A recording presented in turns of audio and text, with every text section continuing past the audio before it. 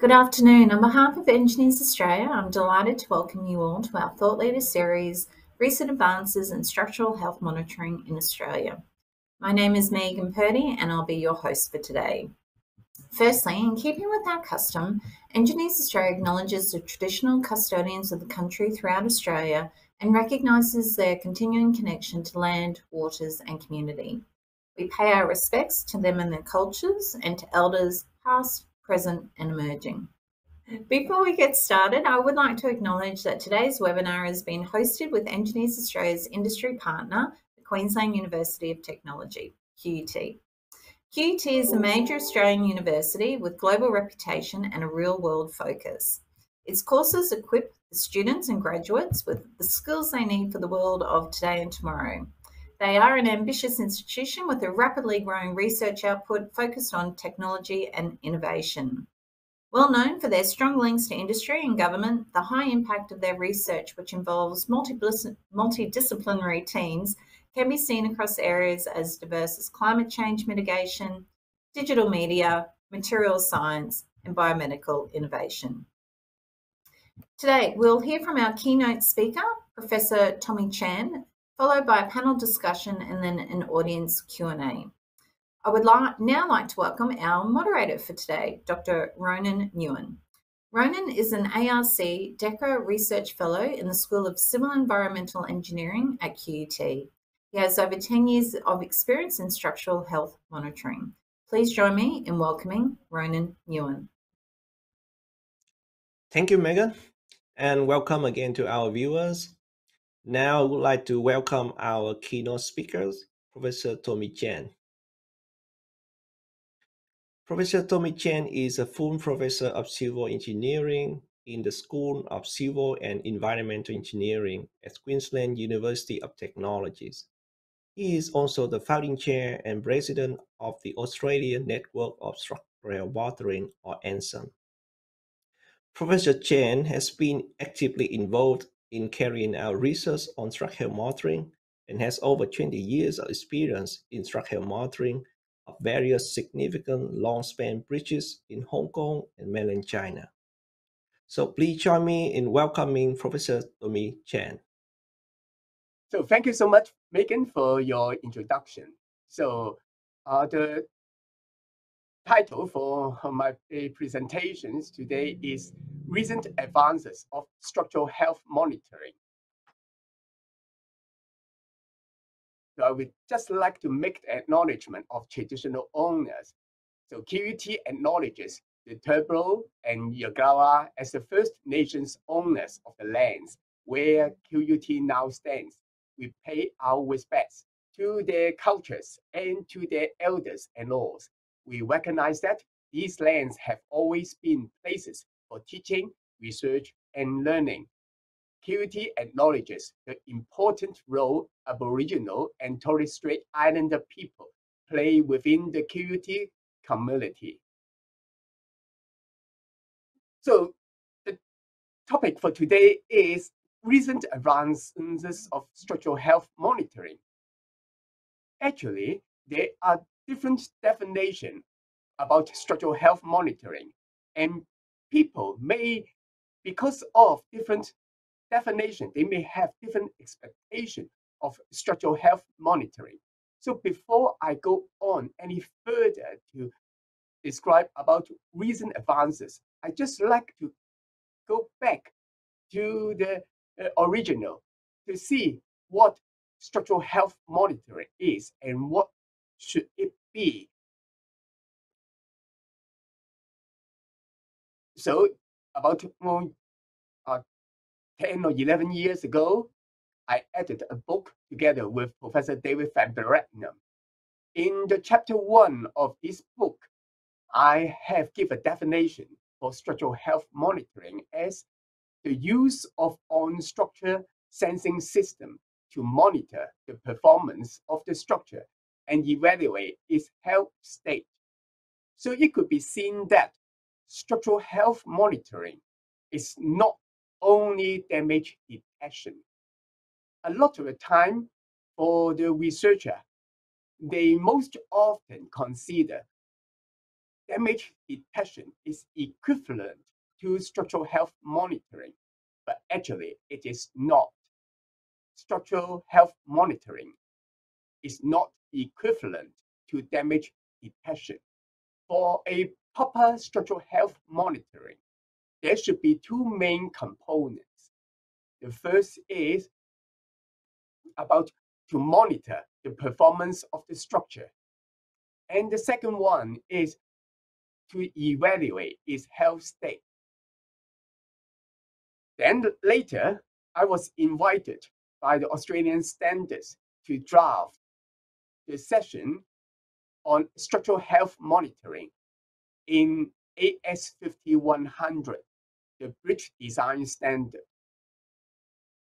So in that standard, I redefined the structural health monitoring as SHM involves the use of various sensing devices and ancillary systems to monitor the in situ behavior of a structure to assess the performance of the structure and evaluate its condition.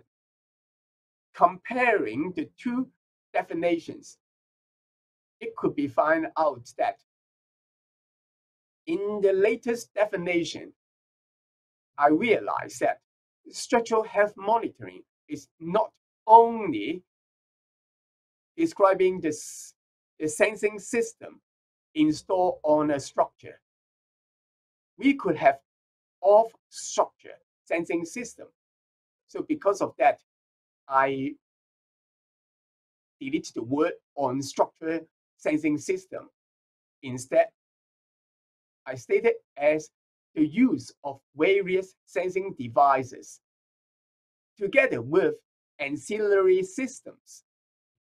And this time, I still have the two main components for the structural health monitoring, which include to assess the performance of the structure and evaluate its condition. So these are the two main components for a proper SHM system. And also, I include something like to monitor the in situ behavior of a structure. So all these sensing systems, basically, they are used to monitor the in situ behavior of a structure. So having that in mind, so we could roughly you know that what you should expect for the structural health monitoring. So I would like to describe to you basically what are the aims and application for SHM.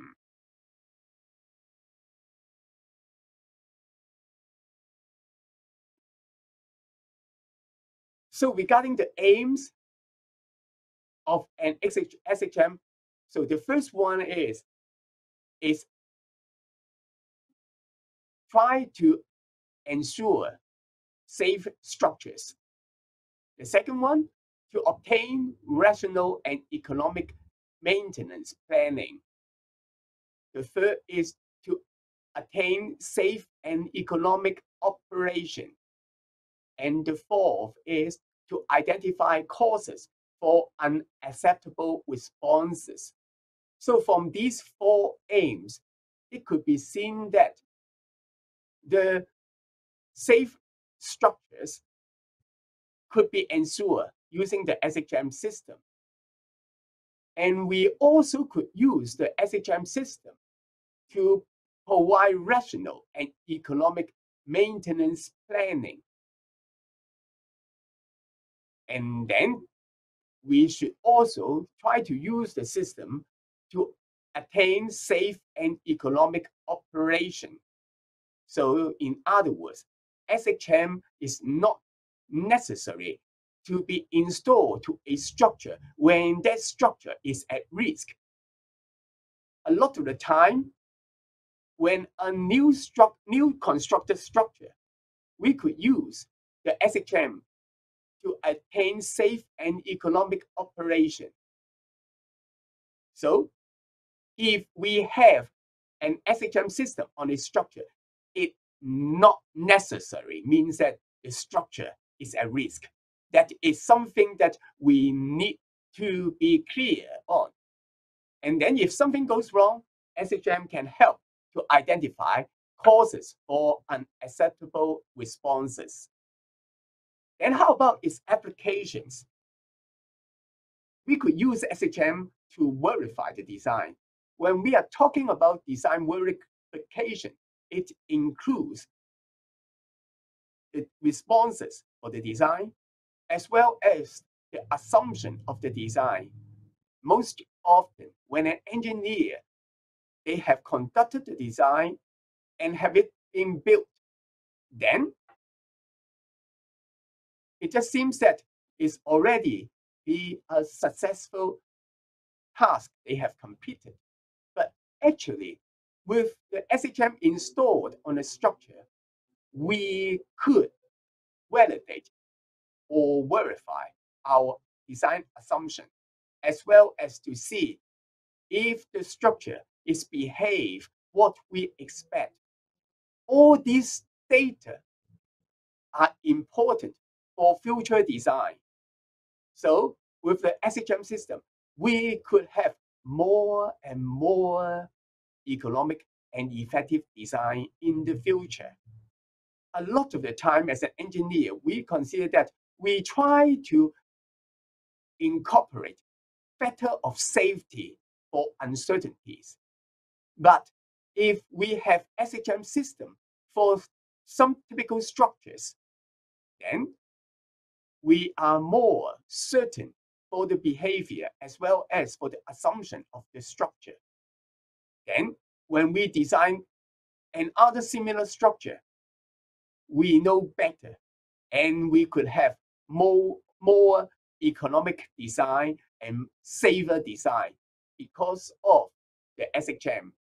And also, we could help to maintain and manage the, our assets properly using the SHM system. Rely only on those visual inspection, they could be helpful. But if we are having the SHM, we could have to inspect or to know where the damage is and as well as what causing the damage, especially for some part of the structure which may be not easy to be assessed or they may be covered by something like other structures, other structural component. So it could help for to maintain maintenance planning more economically. And also it could provide safety provisions and troubleshootings. And also, as structural health monitoring, the term it implies it could help to provide monitoring system for the structure. So having known the aims and applications of the SHM system, we now we know that SHM is not just to install sensors. A lot of people misconcept that SHM is just to install sensors here and there and everywhere, and that will be what SHM is. To me, I consider that it's just waste of money. So basically, for SHM system, for very complicated or sophisticated uh, uh, system that could achieve the aims mentioned here, it could be only less than 5% of the construction cost, but it could help to give all that I mentioned earlier. The main thing is we need to have a proper SHM system so that we could collect the data from the sensors. So the data collector to make the data collected from the sensors to make sense is something that we need to be ensured. Okay, now we may come to the SHM mm, research and development at QUT. So at QUT, we have a very big team to work on SHM. So I would like to acknowledge all these investigators and supervisors of the SHM system together with these uh, uh, mm, mm, former students or the research staff at the moment. So these, a lot of them, they have already got their PhD through their project on SHM. So when we are talking about SHM research, there should be three areas that we need to work on. The first one is system development. As I keep on stressing, SHM is not only to install sensors here and there. SHM is trying to help the data collected from the sensors to make sense. So system development mainly is to deploy the sensors so that it could be helpful to monitor your structure, to monitor its performance as well as its operation. So this is a very important part. So a lot of the time, we can see from a lot of incidents that incorrect deployment of sensors just wasting money and you will have a lot of data to analyze. So it is important for you to consider where to deploy the sensor so that it could give you the best information. So this is related to system development. And then the next is the research and development activity is on sensors and measurements. In the market, there are a lot of commercial sensors, but maybe some of the sensors, they may not be working as what we expect because most often those sensors they are developed by, developed by E&M experts. And SHM is a multidisciplinary uh, field. It is important for civil engineers to give what they expect from the sensors, what they would like to measure, so that we could tailor-made the sensors for the SHM system. So at QUT, we also work on that. And then regarding the application, which is also very important because it's, SHM is not just to install the sensors, to develop the sensors. We also like to help the sensors to make sense. So we would, there are different methods we work on to meet the aim of the SHM as well as it can help to monitor the performance of a structure and uh, evaluate its health state. So these are the area that applications will work on. So we started the SHM as early as 2007. And now it's almost 15 years after we start our SHM study at QUT. We have a number of projects, and earlier you could see that we have delivered a number of PhDs. So it is not easy to describe all of them within this presentation. So I just selected 20 of them which cover as an examples of the system development, sensor and measurements, and applications. So there will be two projects regarding the system development and three projects regarding the sensors and measurements, and then 15 projects about applications. So altogether, I selected 20 projects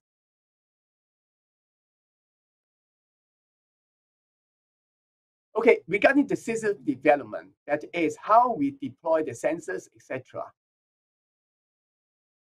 So one of them is since I am an expert on SHM and I'm working at QUT, so I would like to have one of our, our building to be installed with the SHM system. So I selected the P block at our QUT Gardens Point campus, which is called the QUT Science and Engineering Center. And it considered to be the five-star green, mm, mm, green star uh, rating for that P block. So in the P block, we installed the three systems there, which include vibration, which is accelerometer based uh, or acceleration based, and structural, which is strain based and subspace, subsurface monitoring. So we just try to make use of this build P block as our living laboratory. So we are so excited to tell our students while we are lecturing at P block, telling them that you are quite safe in the structure because this structure, this building, we are having the structural health monitoring installed. And we are just trying to work on so that its in situ behavior could be shown in the what we call the cubed area for the students. So it will could be quite attractive when students coming for the open day to see how the structure behavior behave and how they jump on the structure and see what will be it respond. So this is one of the system development. You can see that from that uh, system development, normally I mentioned earlier, we need 5% for the construction cost to have a SHM system to give information for the asset owner to manage and maintain their asset. But for that P block, because of our careful development and design, so the SHM system only cost 200K for the SHM system. It is so for uh, that, and you can uh, see that for that five star green uh, green star rating, it only to be less than 0.1% of the total cost. So you could see that less than 0.1%, we could have an SHM system. And then the other one regarding the system development, I would like to introduce is the one that Working with Rockville. So Rockville, uh, uh, they are quite one of the pioneer uh, on the SHM systems. I think around 10 years ago, they take an initiative to work with us for a project to have the real-time SHM system for post-disaster decision in bridges. In so what we try to do is we try to see if we could have some SHM system to install on a structure which is prone to be eh, attacked by flooding or wind, just like what we call the extreme event. And then after that, how quickly we can tell the public that it is safe or not to tell the public, to tell the asset management team that it is safe to be uh, open again. So this system is quite useful for the assets manager. Okay, then we come to the projects for sensors and measurement. I selected three of them. The first one I would like to describe is the IMCRC project collaborating with Monitom. So this IMCRC project is that we developed what we call the Kulu technology. So Kulu is a, a, a bird. Kulu is an aboriginal name for a kind of bird. And these could help using the global navigation satellite system to obtain the static displacement in three dimensions within the accuracy within few mm. So it after the development, it has been used to measure seawall displacement, slope deformation, etc. So later, I could see it, I will describe one of the application project is how we could use this low cost GNSS device to measure the displacement for monitoring. Okay. The second one regarding this sensor and measurement is using FBG base to measure the displacement. FBG base is what we call the optical fiber sensors. Optical fiber sensors is a very unique type of sensors because it could be used as a sensor as well as the transmit media.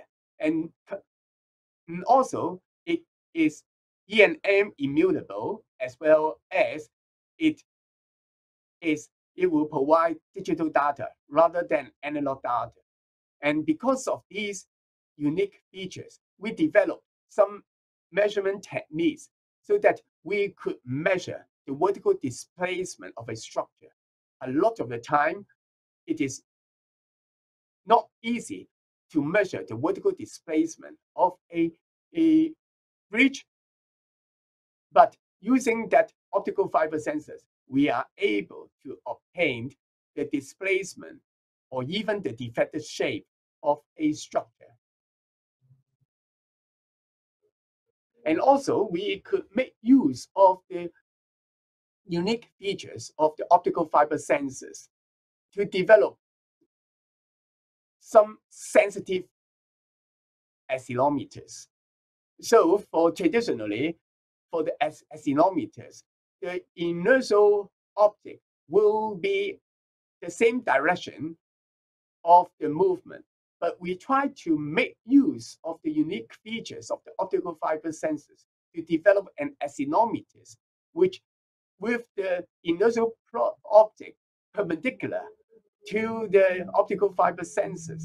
And through that, the acceleration response could be amplified a lot. So we are able to develop that. And the PhD student working in this area, after he developed some accelerometers, now he has a very good business in China to develop uh, uh, to supply this kind of accelerometers. Okay, so you have seen two projects on the um, system development and three projects for the sensors and measurements. Now I'm going to show you applications. So because of the time, I can't describe all that in details. And also I can't describe all of them. So I just selected 15 of them. So basically seven projects, they are what we call the structural condition assessment. That is one component of the SHM to evaluate its health state. And the other one, the other eight is regarding the uh, the system that could help you assess the performance. Okay, so these are the seven projects regarding the health status assessment.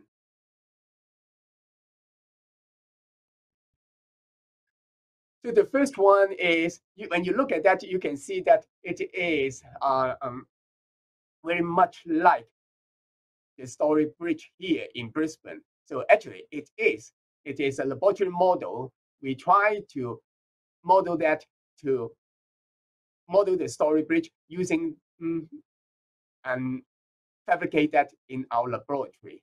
And based on that, we have developed some method to detect the damage. now, after the COVID, I think a lot of you are familiar with the term called false positive or false negative. Regarding the damage detection, it is also important to eliminate all the false positive. False positive, that means that we consider there are damages on the structure, but actually there are not. And false negative is we consider there is no damage, but actually there is. So false positive is annoying. False negative is danger. It's dangerous. So we try to eliminate all that. So one of the methods we use, we call all it um, a modal strain energy correlation method. It is specifically for truss structure. And then after we have developed some index to determine the damage, so one of the index, we call it modal strain energy eigenratios. Then the next is we try to use optimization to help us to eliminate those false positive and false negative index. And then we adopt what we call the genetic algorithm for doing that. Regarding the beam type structures, we developed some method to use the static deflection, which we find that static deflection could be very useful to identify the damage of a structure. The only problem is it's not easy to measure the static displacement. But I've mentioned earlier, we have made use of the optical fiber sensors for such measurement, so which make this method very effective to determine, to identify damage for a beam type structures. Then the next one is when we have some structure, there may be some mass especially for onshore or off, offshore platform, a lot of the old structures, there will be a change of mass. But those change of mass could mask the actual damage. So what we developed, we call it modal kinetic energy, which could help to identify the damage of a structure, even with mass loss. So these are some examples of that. So as uh, again, I won't go into details because of the time. And also we have developed what we call the uh, damage in, in uh, base index for slab on girder bridge using modal flexibility and modal strain energy damage index And then we also use this kind of development, but we can separate, distinguish them for the vertical mode and the natural mode. And then we use multi-criteria uh, uh, assessment to apply it for asymmetric buildings. And we use similarly for this kind of modal flexibility in, in method, but we modify that for arch type structures and modified modal strain energy in, in method.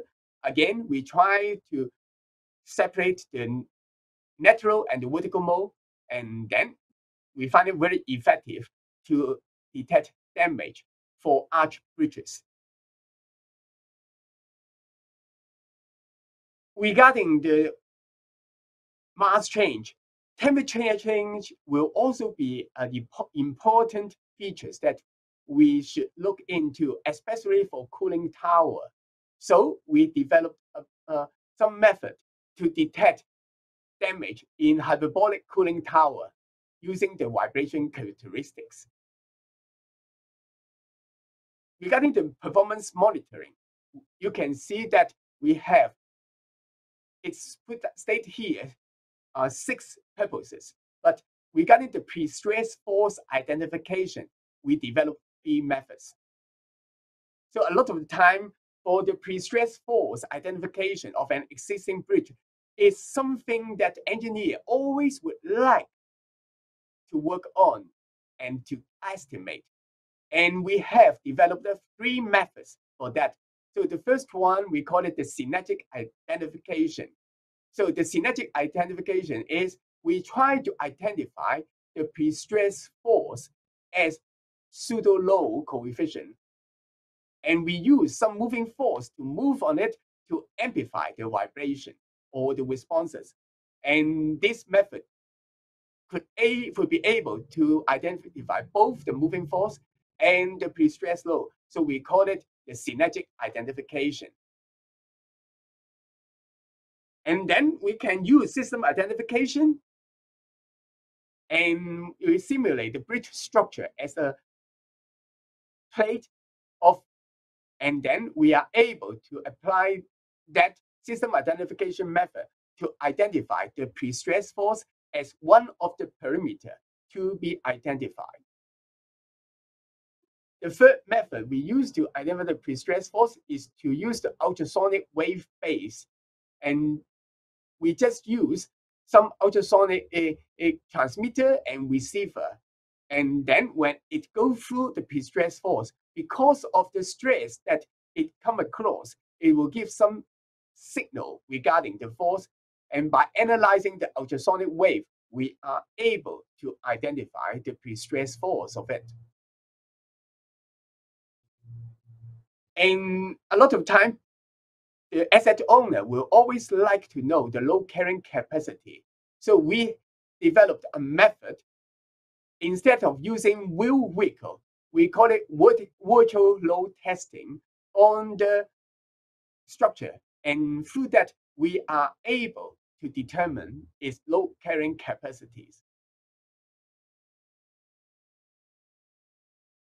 And we even use a, a box girder and fail that and try to use it to validate what we develop.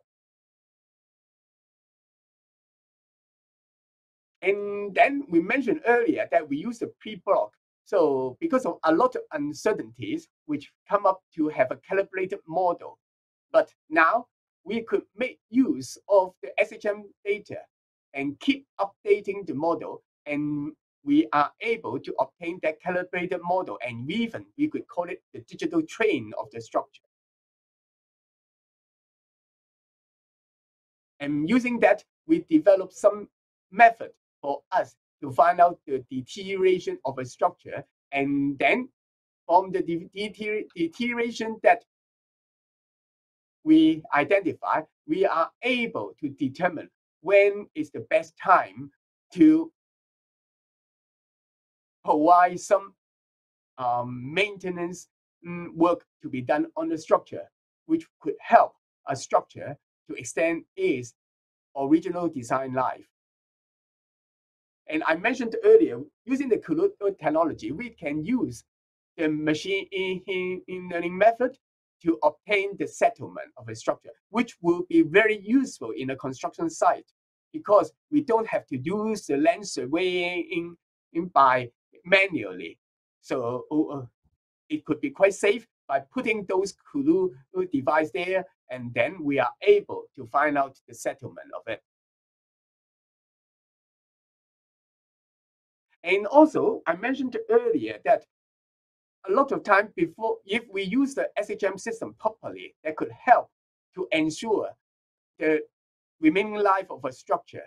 So you can see that these hot vivid steel bridge structures, if just based on the design, then the fatigue life will be much less if we use the actual vehicle loading and the actual strain we measure from the SHM system.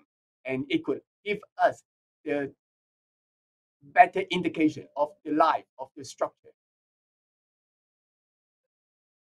Okay, so this is another um, pro, uh, big project that we are working on. So this is the funding is supplied by the Australian Research Council. The Australian Research Council they, they provide almost five million Australian dollars, and uh, we have the industrial partners contributing the cash for around uh, uh, for around mm, 7 million. And together with four universities, we have that research hub. And this research hub, we call it the resilient, intelligent, and infrastructure systems. So we try to use it. There are five themes and SHM system, of which I am the chief investigator. I'm the leader with the uh, Professor Bijan Samali. So that project, that hub has just been established in Brunei, and we look forward to its deliverable. Okay, so regarding the SHM system, so you can see it here in the uh, SHM mm, in the uh, Australian Standard 5100 past 7. So these are the main content of SHM. But you could see that a lot of the topic people are, may not be familiar with. Engineers, when they graduate, they may not have the training background for SHM system. So because of that, we are happy to provide workshops to the industry to help them better understanding the SHM six sessions in the Australian Standard 5100 past 7. So when I'm talking about we, I'm saying speaking that as the president of Australian Network of Structural Health Monitoring. So the Australian Network of Structural Health Monitoring, in short form, we call it ANSM, basically is to promote and advance the field of structural health monitoring in Australia. We try to help to coordinate and integrate efforts for better development application of SHM technique in Australia to showcase achievement and exchange ideas and disseminate knowledge nationally and internationally, and to promote and facilitate national international collaborative research and development and to raise general community awareness on the need for the for and value of SHM research and applications. So in ANSM, we have 56 organizations, members from 56 organizations, which include 21 universities, 27 mm, mm, private companies, six government authorities, and two research institutes. So you can be seen that, so we have organized a number of workshops that could help to the engineers as well as the public to know better about SHM. And not only that, you could see here, even during COVID, we still can't stop us to have the workshop. We can have it online. And then we have a lot of publications. So basically, we have published more than, mm, I think, around 10 special issues and two books. And also, we have our quarterly newsletter. And we, because of, of the effort of the uh, ANSM, so now we have more and more structures with SHM system. As I mentioned earlier, for the uh, engineers, for in the past, there is no course on SHM, but ANSM tried to promote courses within universities. So now we have more graduates with knowledge of SHM. And we, we even help to develop that design standard on SHM. So this is one of the the second books we published in July so a few months ago, we published that basically we have 11 chapters and that could be divided into five clusters. The first one is about physical model-based updating and damage detection for bridges and buildings. And then the second cluster mainly is talking about how smart and mobile sensor network for bridges and partially submerged structures. And then cluster three is about data-driven machine learning and in-base SHM. As I mentioned earlier, SHM for the application, a lot of time we try to develop some parameters that are sensitive to damages or anomalies. And then we try to develop some tools like machine learning to help to identify better or to, to see how the dam uh, how we could identify the damage. And then we also have applied the SHM system for railway track maintenance and management. So this is the fourth cluster. And the fifth cluster, cluster is about the digital twin and approach for SHM. So today you have learned about the SHM mm, mm, system. So if you are interested more or to know more, you are welcome to the forthcoming our 14th annual workshops. So each year we organize our annual workshops. So the next one is 24th and 25th. So the registration is free. It will be in Sydney, but you could also attend it remotely online. So please use that QR code and to access the free registration. But please do it before 18th of November. Okay, so thank you so much. So I may go a little bit quick on the uh, SHM mm, mm, projects, on these 28 SHM projects. If you would like to know more about all that, you could use that QR code here to access my publication. So thank you so much for your attention. Thank you, Tommy, for your insightful presentation uh, to open for our discussion today. Uh, so before we get into the formalities, uh, I would like to welcome our panel uh, members who will be joining Tommy. We will have uh, each of our panelists provide a quick overview of themselves and how this topic resonates with them before we move into our panel discussion. So first of all, I would like to welcome Dr. Toro Pep, Director of Structural Design, Review and Standards from Queensland Department of Transport and Main Hi everyone. So as I've just been introduced, I'm a director in TMR's Engineering and Technology branch. I look after um, standards design and engineering reviews from the Structures Division. Um, my passion is in the management of assets to get the best out of them as much as safe as, uh, as is safe to do so. Uh, and the good thing is, is that TMR's had a long history of monitoring its bridges, and we're on a continual improvement journey to find new ways to implement this technology to augment and support our decision making with evidence. Um, and I'm really looking forward to the panel discussion today. Thank you. Thank you, Dora. Um, I now like to welcome Dr. Eugene Quay, Structural Engineering Advisor from Major Road Projects, Victoria. Thanks for having me and good afternoon, online audience. I work at the Major Road Project Victoria as a structural engineering advisor.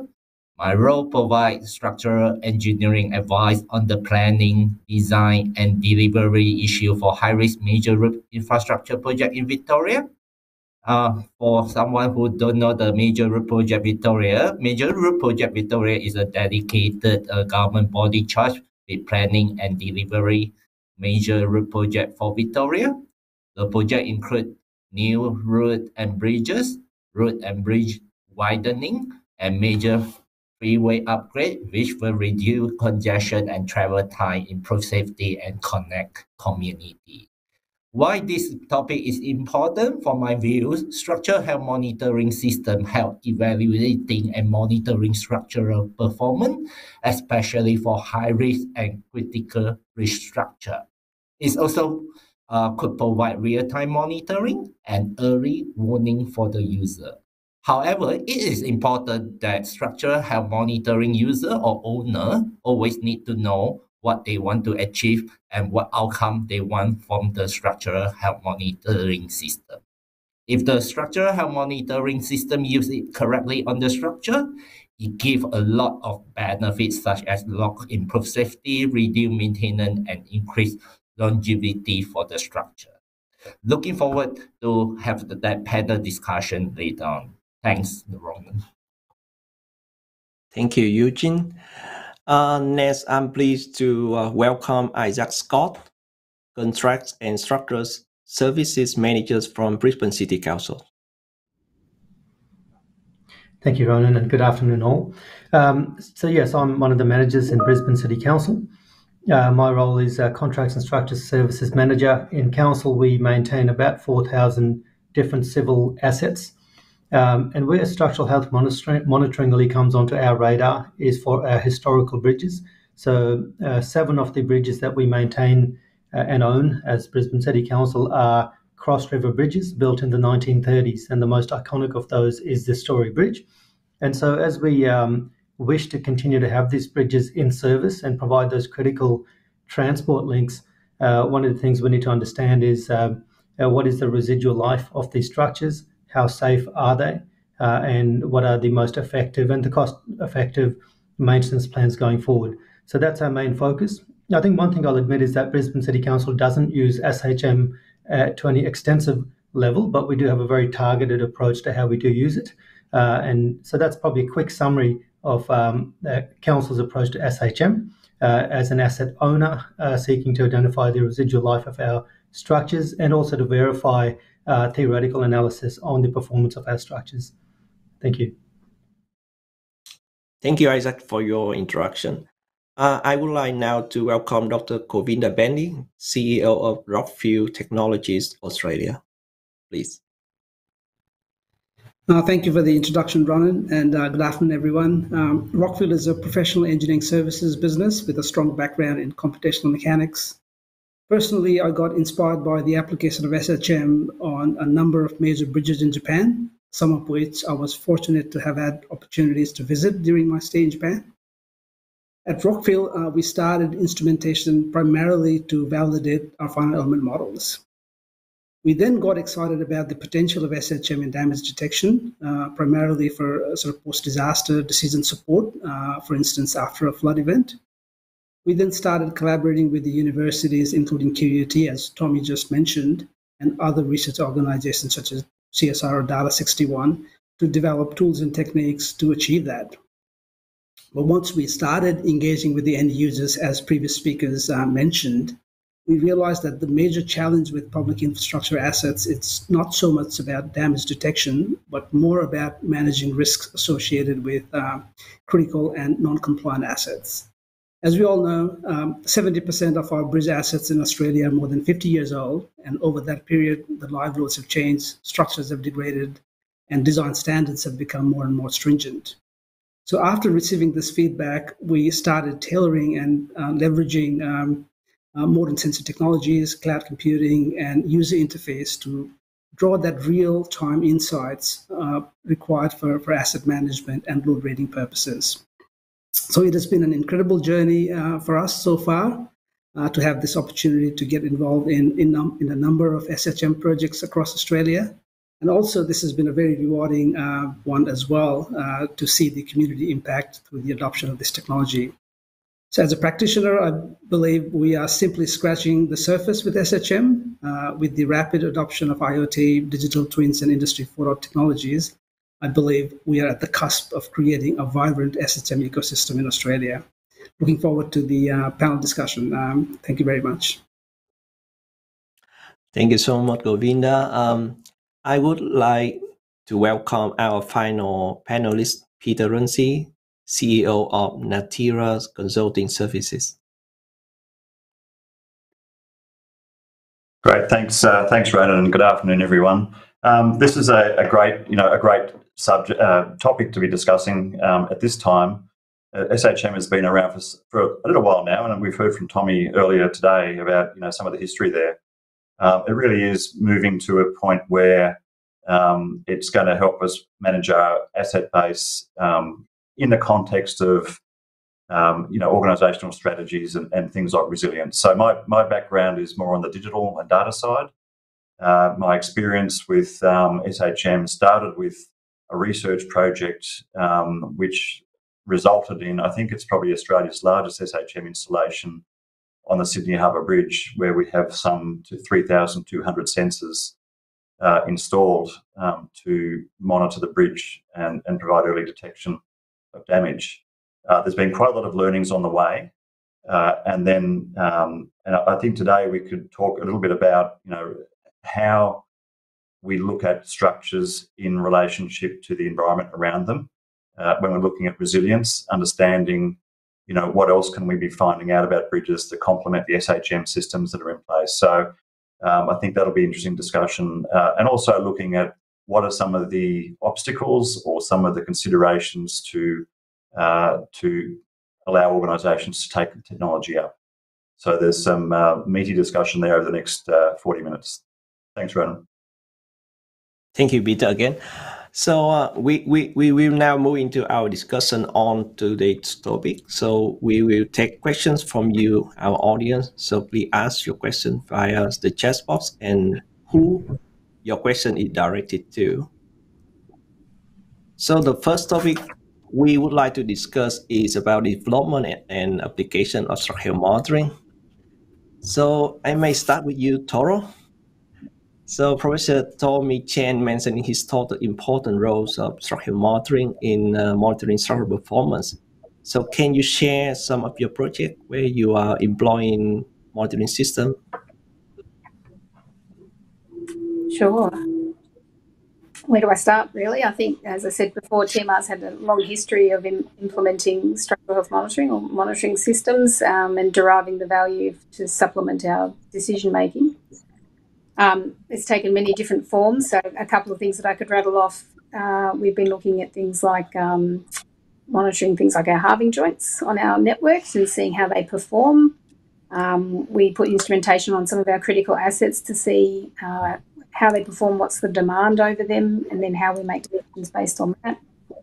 Uh, we look at things like construction impacts on our existing assets um, and one, one of the more topical ones that's come into my field of view just in the last little while is um, when we have big heavy loads moving around on our network and we want to just mm. validate and verify that our structures are performing as we expect and that they are safe, not only for the passage of these really heavy loads, but um, everything that comes after them as well. uh, and we employ a range of different sensors. We look at strain gauges, deflection, temperature. Um, we're starting to branch out into things like um, lots of different types of technology as well, so cameras and how that augments our decision making for specifically on bridge monitoring. Um, and also to give a shout out to some of the research that we're doing in this space as well. So we've been doing some work with um, the National Asset Centre of Excellence, so our group, and we've got a couple of different projects where we've been looking at how we can um, further enhance our decision making in terms of weigh motion systems uh, in collaboration with our connection to our bridge monitoring sites that we've got around. So we've got quite a, a diverse range, um, and talk for hours, but I won't. I'll let some of our other panelists talk about what they're also doing in this space as well. So just scratching the surface. Thank you, Toro. Uh, um, talk about what you want to, what that might you might have your systems, your network.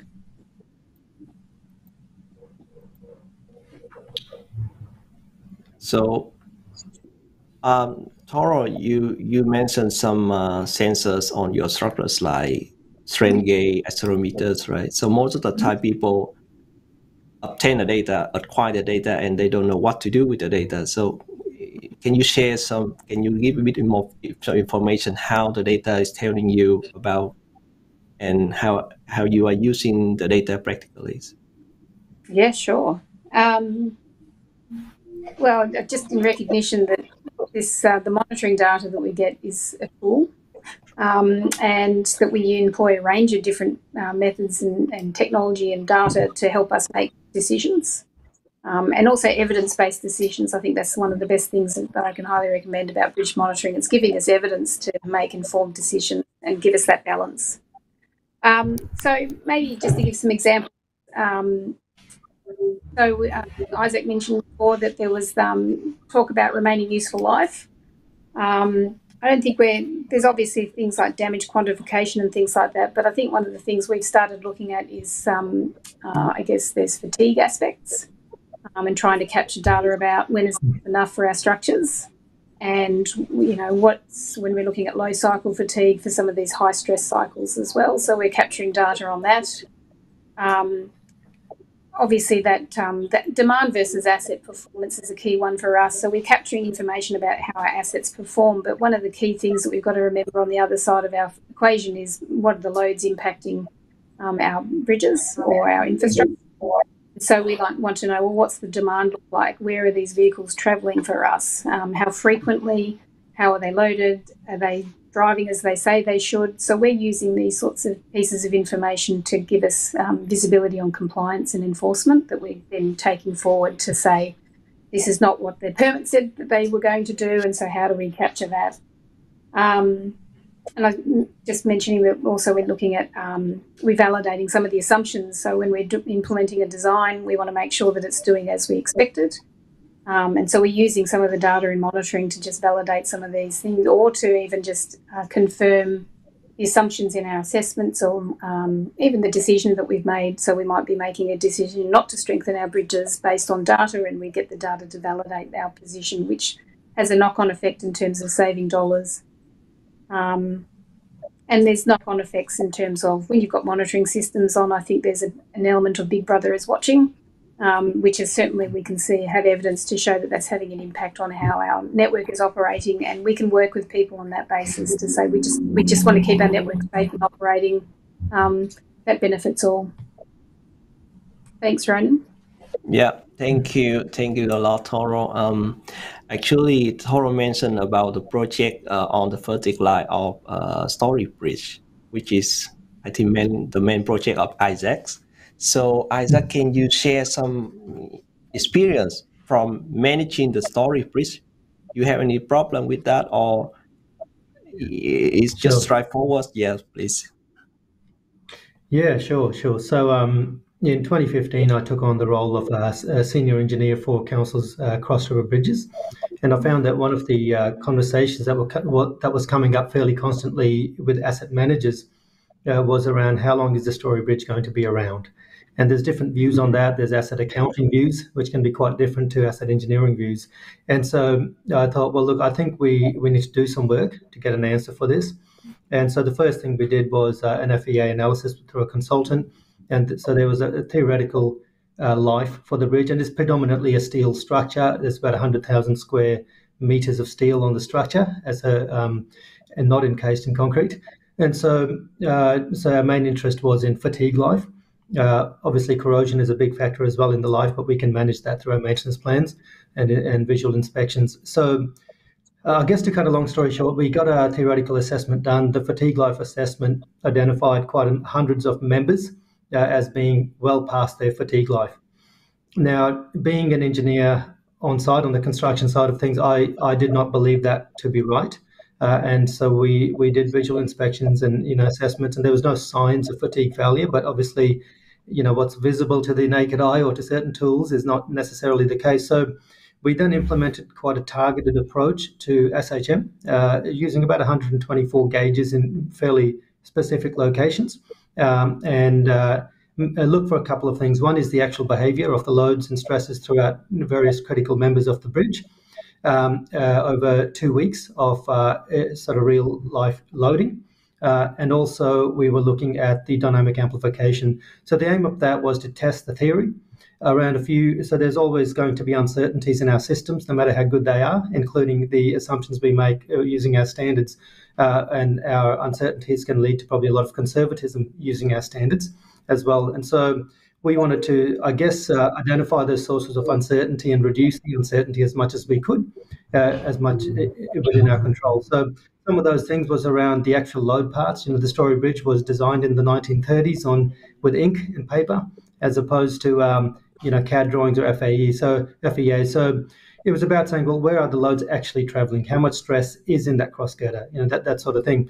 So, um, so basically, we did that. We we had the consultant analyze the data using AS 5100 approaches. Um, then we also refined the analysis to deviate a bit from away from the standard using actually uh, you know actual acquired stress data for the bridge and the actual traffic counts that we had confirmed through actual counting of the traffic. So I guess the more, the closer we got to actual stresses and actual traffic loads allows it, allowed us to be more accurate in our analysis of fatigue life as well as dynamic amplification. So all of that process basically led to us identifying that uh, no members of the Story Bridge are fatigued, and and even the most critical members will not become fatigued for about another hundred years. Um, which is a really good thing. So, from an asset management perspective, it allows us to do some long term planning um, around even those members that will become fatigued, say, in 100 years' time. We don't need to intervene with those. Um, there are some areas we identified that could be in overstress. Um, under certain extreme loading scenarios, which will probably never eventuate, but it allows us to say, okay, well, rather than focus on fatigue, we can focus on strengthening certain members um, to address any theoretical overstress. So, so that's probably a quick snapshot of uh, the approach that we've taken on the Story Bridge. Yeah, thank you, Scott. Uh, uh you actually mentioned you you conducted both uh, visual inspection and SHM on the bridge. So can you comment on the effectiveness of structural monitoring in terms of the cost compared to the visual inspection, please? Yeah, absolutely. So the visual inspections, um, we follow the TMR structural inspection manual um, guide, which means that a, a, visual inspection or a level one inspection, as we call it, has to occur on the bridge every year. Every five years, there's a level two inspection, uh, and if needed, a level three inspection by an RPEQ. So we, we do that regardless. That's that's going to be a part of our asset maintenance going forward forever and a day. Uh, in terms of uh, areas that we are concerned about in particular, uh, I think uh, the structural health monitoring allowed us to confirm that many of those areas that were theoretically, you know, overstressed or fatigued didn't actually have a problem. Uh, so, which means then that we're not spending additional money every year focusing on those or keeping sensors on them continuously. So, I think an investment all up, I think it was about half a million dollars over about two or three years that we spent will probably, uh, I'm just going to have a guess, it'll probably save us millions of dollars of unnecessary inspections going forward, and certainly probably tens of millions of dollars of unnecessary work going forward in terms of adding any strengthening and so forth.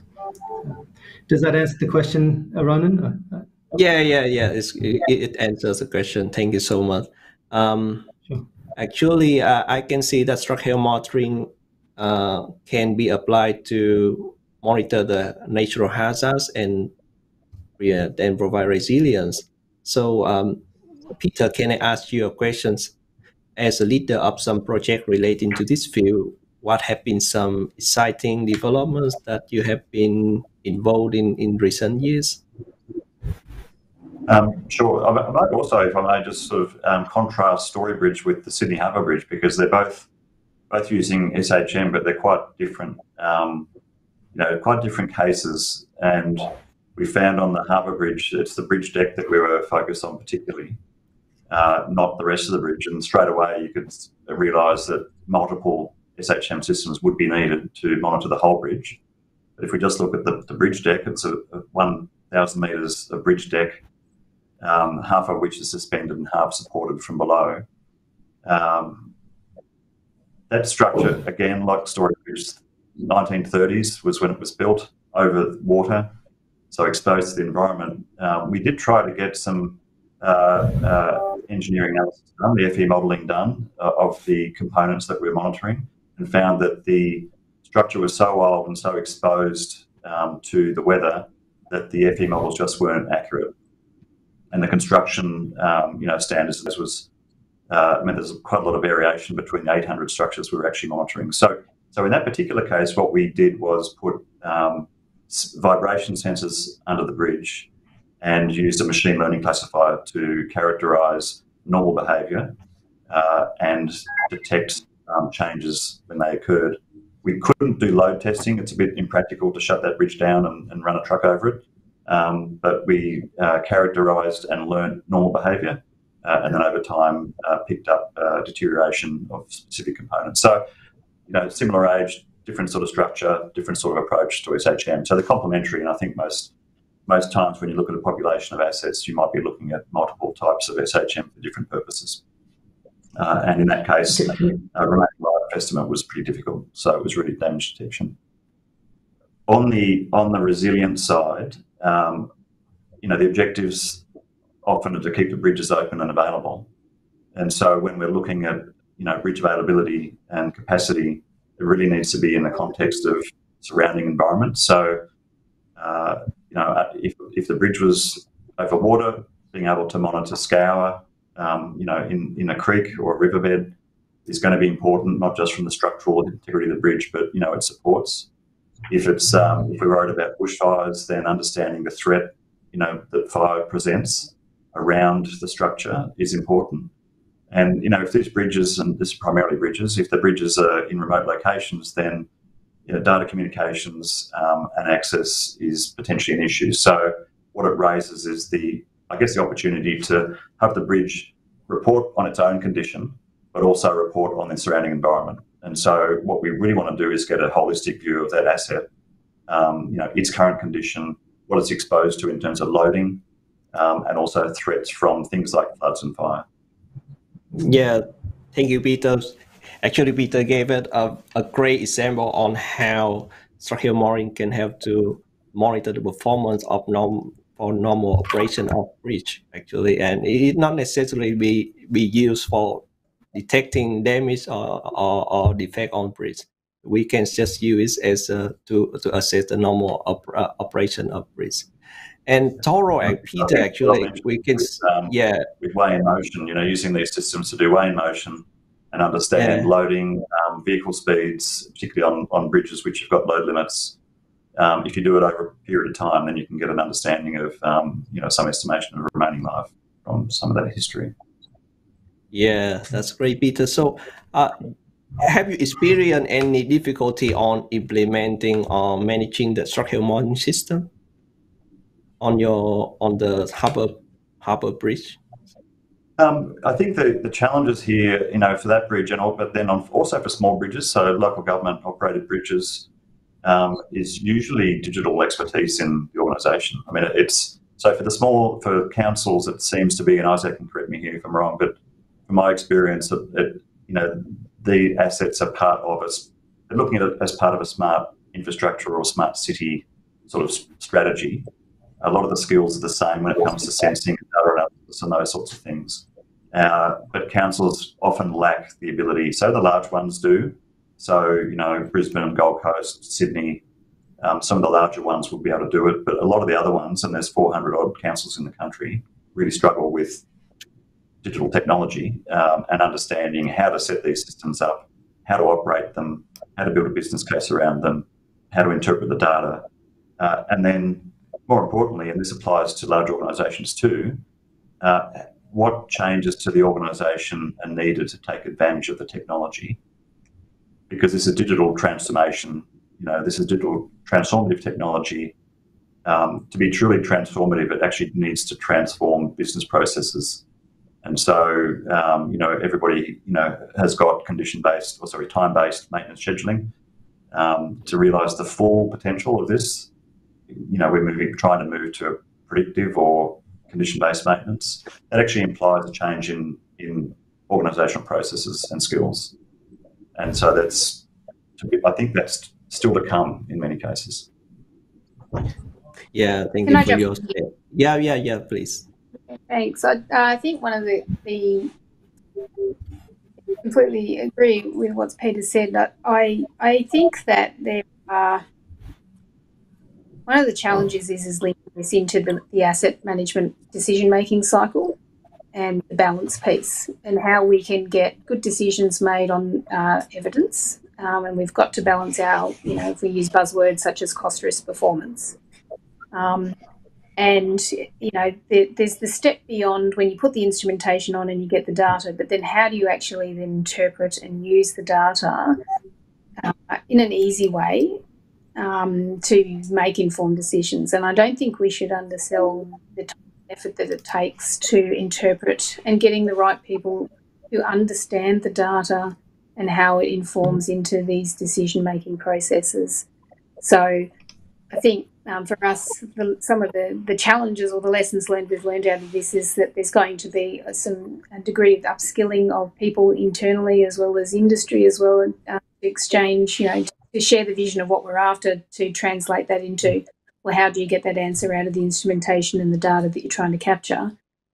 Um, so that I think that's a really key thing for us to, to to acknowledge the effort that's taken in between, and then how you how you continuously monitor that. And it takes effort and dedication to keep on using that data in your decision processes.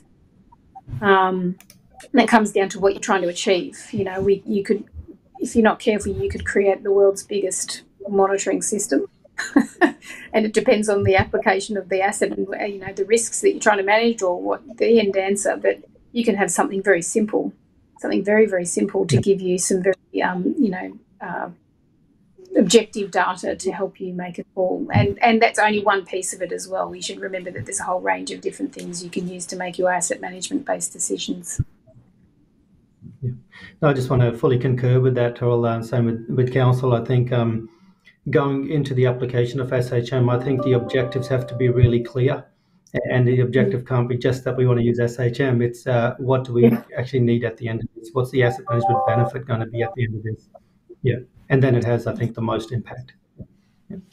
I think just to expand, especially on some of this, even though there's lots of challenges, I think one of the greatest things we've been able to employ in this space is the education um, and I was just going to circle back to the, um, you know, there's a conversation whether, you know, how difficult is it to implement some of this stuff internally for a government agency. One of the good things that we've been able to do is demonstrate the value of monitoring in, in, internally um, and even having simple things such as alerts that can come through to demonstrate well, why this matters and to raise awareness of things like, well, we have a bridge that's under stress. We uh, know from the analysis that we've done that there are some triggers in here that cause us very much discomfort here are the things that causes the discomfort. Let's go away and try and manage the loading that's going across these structures. Um, it, and, that, and then there's a collaborative effort in managing a network because when you talk asset management, you're managing a corridor, you're not managing just a specific asset. It's there to provide the service, the level of the service that the community is expecting. So this is why bridge monitoring can help in that sort of evidence-based decision making. Yep, thank you. Uh, actually, I, I, hope that in future we can have more guidelines on how to implement structural monitoring as well as how to overcome the difficulties. Uh, in this matter, maybe Professor Tommy Chan can comment on the progress of his uh, AS5100 on, on, on this formulation. Uh, I yeah. think for the, yes, for the uh, uh, guideline and specifications, Australian Network of Structural Health Monitoring consider that it's very important. At the moment, a lot of uh, recent issues, they are mainly caused by different expectation or sometimes the service provider overpromise what they could do. So I think all these uh, depends on the, um, uh, the correct expectations from the SHM system. So as I mentioned earlier, SHM include performance and damage detection and also it's, I'm glad to see that um, there have been so many projects that related SHM. So I think the service provider, the government, and the Australian Network uh, uh, of Structural Health Monitoring, together with other experts in the field, could work together to dem demonstrate uh, on how SHM can effectively deliver what it is expected. So to me, I really would like to see if um, we could have uh, some um, uh, collaboration between different parties and then to set aside few bridges for people to work on it and to demonstrate how it could work. So I think in Toril or Isaac, they have already mentioned about uh, all these could be done. Maybe we could ask Yu Ching to give some comment on that as well. Yeah, Yu Eugene, can you give some comment on that, please? Uh, thanks, uh, Professor Tommy Chan. Uh, I agree with most of you say, especially Dora have mentioned the structural health monitoring need to have an expert, competent people, skillful people to drive the thing. The other thing is need to think about the software, the hardware, how to integrate to the asset owner. That is quite important. And in terms of the data, we need to really know what we want to achieve and what outcome we want. It's not just a structural monitoring install. You can get everything, the data, but whether that is a useful data, that is really the outcome you want. We need to know the objective very well before come to the implement or using the structural health monitoring. In terms of your question, Professor Tommy Chan, how to do the collaboration, I guess it's like so many structure or critical structure from the asset owner. Maybe they can scope up the work and bring up the industry, academia, and asset owner work together and then demonstrate that this is a good system and moving forward. Thanks. Thank you. Uh, actually, we received some questions from the audience, and uh, we found that some of the questions has been addressed in uh, Professor Tommy Chan's presentation. So uh, they will not be asked again here. And due to the time constraint, I will just pick one questions uh, from the audience. Uh, the question is, can you share your experience on the application of optimization and machine learning in structural monitoring? Uh, Govinda, would you like to have with these questions? I think this this is more sort of uh, so uh, thanks, Ron. This is more sort of a Peter yeah. question than, than, than, myself. Um, Peter, you want to have a have a go at this? The machine learning. Yeah, yes, machine yeah. learning and optimization on structural monitoring. Um, sure. So um, machine learning, there's different sorts of machine learning, but uh, you know, I guess two examples are one is the one I just gave before, where We've got um, sensors picking up vibrations, but there's no real way to model the vibrations accurately. So with the machine learning model, we use a, what's called a classifier to basically learn what normal vibrational behavior looks like. Uh, and in the case of the bridge I mentioned, you know, when a vehicle goes over a joint, um, then there's a there's a um, there's a signal injected into the system, and the vibrations um, react accordingly um, I, with many vehicles passing over the bridge, we can train a, a, machine learning classifier to recognize what a bus looks like or what a car looks like. Um, but also when something changes, so if the, stru- if the, structure itself starts changing in some way, then uh, it will detect that. It'll say something's wrong. So that's that's one example of machine learning. Um, another example is uh, when we're looking at surface condition assessment. So you know, if we're looking at, um, at, at, at um, steel structures, and Isaac mentioned the Story Bridge with the you know rust and corrosion, uh, being able to do a automated um, visual analysis is quite useful when you're looking at rust and paint condition. And one way to do that is to train a, a camera system, not so much an RGB sort of camera, but a hyperspectral camera or a multispectral camera on um, different types of surfaces, and again train a classifier to recognise you know, a condition four, um, a condition one, and a condition two and three, which are the four different hmm. conditions mm. of paint. Yeah. Uh, and then be able to automatically, you know, either fly a drone across or just take some imagery and have the system uh, recognize and, and, report back on, you know, where um, which parts of the bridge need the most attention. That's two examples. Yes. Yes, yes I, I mentioned in my talk about uh, uh, using the laboratory model of the story bridge that we could use the optimization method to detect. So there are a lot of performance index and a lot of damage uh, uh, index, but all these index may not be sensitive to the change of the, um, the structural uh, responses and all that. So optimization and machine learning are the two tools that could help to better uh, um, estimate uh, how sensitive are those index. So um, we have a lot of projects using machine learning, using damage detection, and also when we use the machine learning, one problem is about the data uh, we use to train the system. So we also develop some method, even though we don't have enough data we could either use um, FEA model to simulate, or there are also other methods that could be used to uh, uh, generate data for training and all that. So it's a very good topic, and I think um, if you are uh, interested on this topic,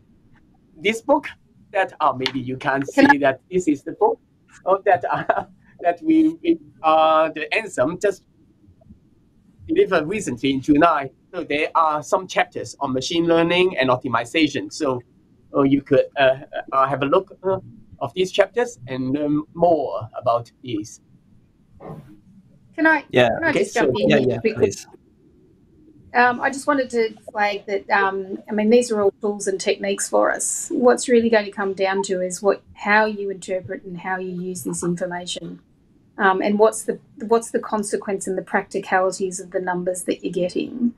Um, because, and I think this is why we need to have some, you know, the structural engineering aspect we shouldn't overlook about the engineering principles. All this digital information, the machine learning, the FEA, all that sort of thing, still needs to be married with the structural engineering principles that we're trying to manage for, and then linking that into the asset and manager's decision making process about what represents good value, how do we manage risk. So I think um, we, we shouldn't overlook that and we should be very um, uh, informed when we make these decisions because they all have consequences. All, all decisions have consequences, and so we just need to understand the tangibility and the real practicality of the data that we're collecting to use. And I guess that's where the, um, optimization tools can play a, good role as a decision support tool because they help you sort of balance, you know, the, the, the result you want versus the cost. Often, you know, the, what's the cost to actually go out and do some repairs or do it now versus do it later. So, um, at a, particularly at a portfolio level, that those sorts of tools are going to be invaluable. The challenge there, I think, and I, I don't disagree. I think challenge we've got with this and the collection of data and optimization tools is that they still are a black box. And I think we need to be mm. very, very mindful of understanding what's in the black box. What are the assumptions that underpin you know, the algorithms that make the decisions for us? Because we have lots of false positives and, and positive negatives and all these sorts of things that can skew us and stop us from being good engineers about making good engineering decisions. So I, am not disagreeing. I just think there's got to be some some good yes. Practical application. So if I can jump yes, in. I think um, Yes, Sorry, Govinda, you go first.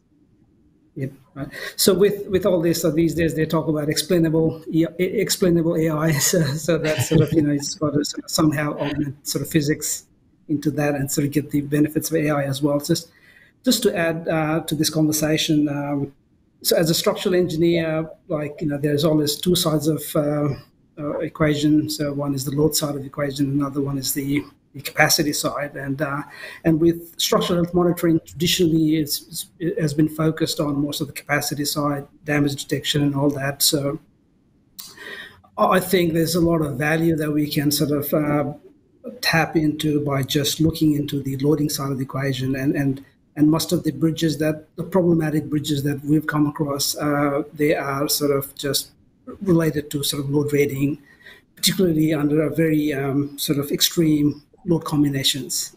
So if we can um, sort of, um, you know, collect data not just from the bridges, because like if we put sensors on the bridges and the damage detection and all that, after dam- damage happens, is already too late, right? So, so if you can sort of just get some lead indicators, whether that is through some sort of flood monitoring, you know, sort of getting that heads, heads up around, you know, like, you know, when the peak is approaching with its half an hour away or an hour away so that we can sort of just stop the traffic just to avoid that uh, uh, peak flood coming together with the peak live loading events or um, just looking that looking at SHM as more as a system like we're not monitoring one particular bridge but if you've got multiple bridges monitored in, in a network so if uh, a heavy vehicle is coming from upstream so then you know before it approaches a critical bridge you know you stop that vehicle prior to that. And also the camera technology that Toro was was talking about, they're, they're quite quite valuable as well. So, so one thing, as as Peter mentioned, you know, just using the sensors uh, on the bridges themselves to provide adjacent data, but also augment with other data sets that we've got from from from other other systems around. Just essentially, just like a, a like a smart city concept with uh, with a network of of data systems and, and data sets providing us the information to so that we can draw those insights from. That's a good point in terms of the system because often uh, bridges are connected to so many different things. And I think about, you know, we've been talking about the context of bridges, but there's a whole lot of other infrastructure out there that benefits from acquisition of, of data and also good engineering and um, understanding the principles. So, you know, there's the geotechnical aspects, there's the marine infrastructure that's out there, um, pavement deterioration. Having, I mean, as a road agency, we collect a lot of data, um, and we shouldn't forget to use the, how those pieces of data interact in decision making. So, you know, using the, the cameras, having having a look at how we can capture images from road safety aspects that inform us. So, I think there's um, it was said we're on the tip of the iceberg. I think it was you, Govinda. We're on the tip of the, you know, just in the precipice now of all the benefits of how we can manage and, and capture and use this data. I think the question then becomes how do we manage that data, and that's probably a topic for another time. we capture that. I'm just thinking, Toril, as you say, that, that maybe that's the challenge from us asset owners to the industry is um, maybe that's probably a bit more convincing that we need is, um, you know, we get all this really good data, but how can we be convinced, um, you know, to, that it, it, it's going to be useful to us and that we're going to be able to harness the Yes. the benefit of that effectively and easily. Yeah. Mm. Absolutely. Mm. And so it's at our fingertips and making good decisions. Absolutely. All right, so thank you for a wonderful discussion about the application of machine learning and optimization. Um, I, I, I may have a kind of different uh, questions on the government in recognition of the value of structural monitoring. So, uh, Eugene, uh, can you comment on whether the government recognize the value of, of it or to be used in, in infrastructures? Oh, good question. The short answer is yes. They recognize the value. In Victoria, the Department of Transport, they have been using the structural health monitoring for monitoring the critical structure. They also use it for the super load uh, carrying the generator crossing over the structure. So they has been using for a while.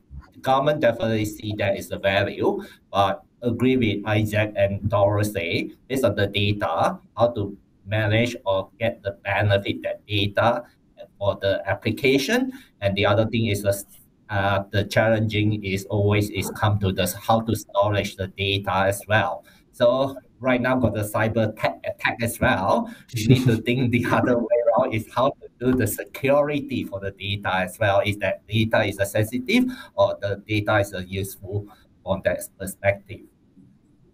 Yeah, thanks, Lauren. All right, thank you. Uh, thank you. Um, due to the time constraint, actually, I just would like to give uh, one last question to Professor Tommy Chan. So, as the president of Australian Network of Structural Monitoring, what would be your plan to better promote structural monitoring to wider user in Australia? Yeah. It's a good question. It may take long Yeah, time to do it, but yeah. actually, I just try to to summarize all, all what we have discussed earlier. It just seems that um, for the government, for the asset owner, they, what they are looking for is something to assist them for the management, as well as to ensure the operation of the structure is working fine.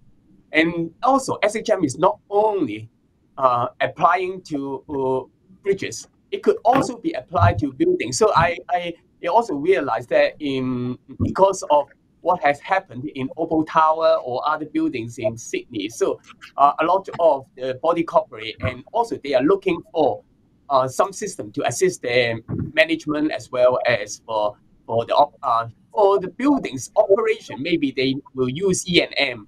So I think to me, as an um, ANSHM um, uh, president, what I will- we would like to do to use ANSHM as a platform so that we could work together. So for the government, we know what they need, and then we just try to see. Say, Eugene mentioned about some uh, earlier about software, and and also Torrell mentioned about something that some mm, uh, some mm, vet, uh, indicator for that. So all these, I think, ANSHM could help. We have uh, uh, uh, expert in there as well as we could work with the industry, eh, because most often we are not service provider. We could develop, but we could work with the uh, uh, industry for the service provider so that we can provide what it need for the uh, asset owner. And then another thing is at the moment is a, a lot of people they may have different expectation of SHM. I think ANSHM will try to have more forum to educate and also to train more graduate to meet the needs of the field. Uh, as I mentioned earlier, for those engineers working at the moment, they have not been taught SHM in their undergraduate course. So I think mm, that's the past. Let it be gone, be be gone. So what we will try to do is in the university, we try to provide a, a more courses on SHM and and this and the other thing the third about oh, um, uh, research and development, as I mentioned earlier, it would be good that we could. So Eugene has responded as that's good that we may have some mm, structures uh, identified so that we could work together to demonstrate, as well as providing some expectations, some specifications, and how this could be used for managing the asset. So, or how we can make the decisions. And I think that's what ANSHM is going to work on. Uh, and we that's our plan for the future. Okay, thank you, Stormy, and uh, as well all the panelists for sharing your experience and solution for widening the adoption of structural monitoring, especially in Australia. Actually, we couldn't answer all the questions from uh, the audience and well from the panelists. However, there is another chance actually for us for to continue our discussion uh, in the forthcoming 14 ANSHM workshop to be held on 24 and 25th of November this year uh, which was introduced in the second last slide of Professor Tommy Chan uh, talk. So please uh, refer to that slide and register before the 18th of November. So uh, I guess that's all the time we have for today. So please join me once again in thanking Professor Tommy Chan, Dr. Toro Pep, Dr. Eugene Kwai, Mr. Isaac Scott, Dr. Govinda Pendy, and Mr. Peter Runsis for their time and input. I would like to thank Australia, uh, Engineers Australia's industry partners, Queensland University of Technologies for their support.